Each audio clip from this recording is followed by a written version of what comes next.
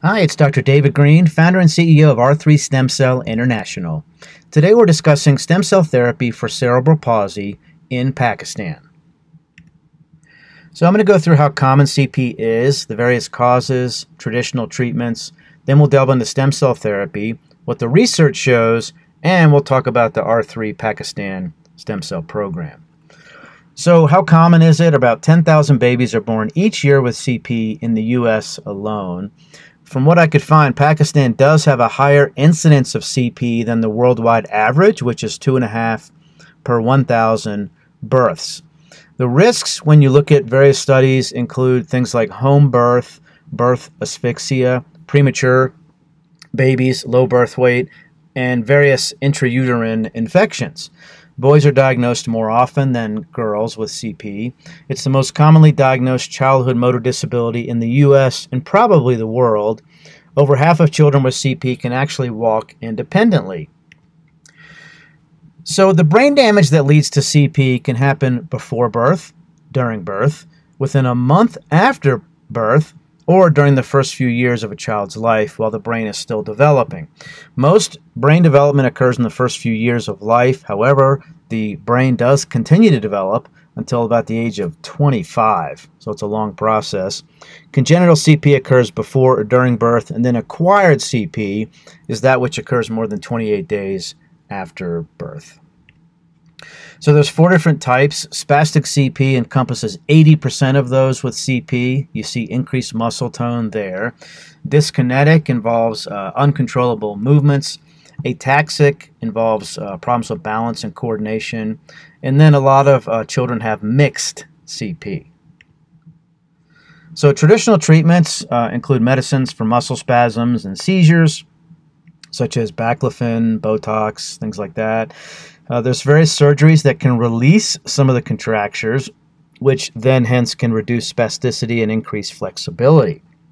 There's also alternative CP therapies such as energy and movement therapy, mind and body techniques, aquatherapy, and stem cell therapy, which is what we're going to talk about now. Um, so it's gotten more popular as more research studies have come out showing that there are significant benefits. Also, since we found out for the last 15 years that you don't need to do cross matching or HLA typing for these therapies. We, we do know that cell counts are very important, um, and procedures can either include stem cells from your own autologous tissue, like bone marrow or fat, or from allogeneic, which is a donor, umbilical or amniotic tissue. Umbilical cord mesenchymal stem cells are the most common uh, from an allogeneic, you know, a donor source, and that's what we use at R3 Pakistan.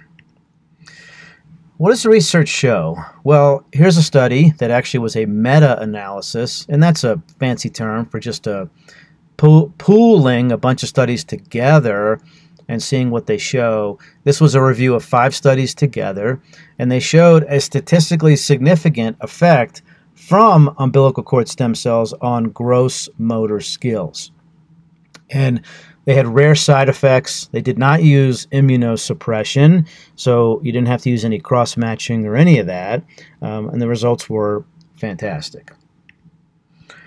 Here's another study, um, I think it's out of China, where they looked at um, randomized 54 children to either receive stem cell therapy with umbilical cord mesenchymal stem cells or uh, placebo.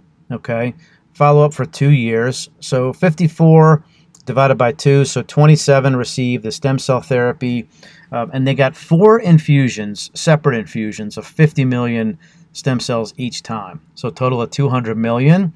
And the results showed that umbilical cord blood stem cell infusions with basic rehab was safe and effective in improving gross motor skills and comprehensive functions. So once again, very safe didn't have any significant side effects, um, and great results with a long follow up, two years. Here's another study um, with eight children. So, small study, more of a, a pilot study, where they used umbilical cord uh, stem cells in eight children with CP. None of the children had any uh, rejection reactions. All of them showed improvements in mobility and cognitive functions. Um, and six of them had improvements in muscle tone, hip movement, leg movement, rolling, balancing um, for the whole six months of follow up. So, small study, fantastic results. All right, so we saw really good results with the umbilical cord stem cells, um, and you saw that the main study included 200 million uh, stem cells. So we know that stem cell counts do matter. Now, the type of stem cells matter as well. We don't use embryonic stem cells or induced pluripotent stem cells. They have problems. They can lead to rejection, they can lead to tumors. So we've never used those because they're just not ready for prime time. Um, we use stem cell therapy with mesenchymal stem cells uh, from umbilical cord and hematopoietic stem cells from umbilical cord as well. That's the way to go. We've had fantastic results and very, very minimal side effects. And any side effects we do see are typically very, very temporary 12, 24 hours.